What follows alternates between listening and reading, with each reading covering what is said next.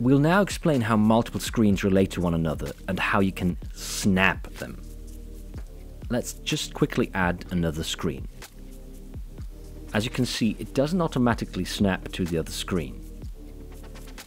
As soon as I press Shift, however, you can see these reference lines. Pressing Shift again will change the orientation of these reference lines, so we can switch from horizontal to vertical by pressing Shift.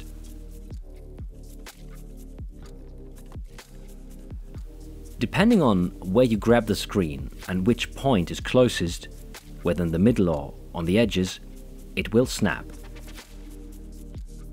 So here it'd snap in or to the middle, but if I go further, it'll snap further to the edge. The value you can see now can also be changed manually. Let's say I want a distance of 20 centimeters. This change will take effect immediately after entering the new value. I can also snap the screen directly or, again, enter my preferred value. For example, 0.4 meters.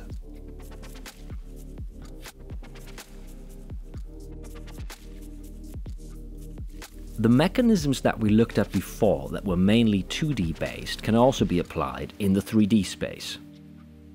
So if I move the screen here on top, I can change it on that plane. And again by pressing shift, you can move the objects further back in space with the reference lines being visible. You are using the same mechanisms.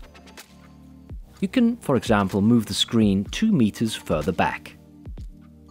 It's important to note that these mechanisms can be applied to the other tabs as well, not just screens. Working with the Mapping tab, you will encounter the same mechanisms and approaches.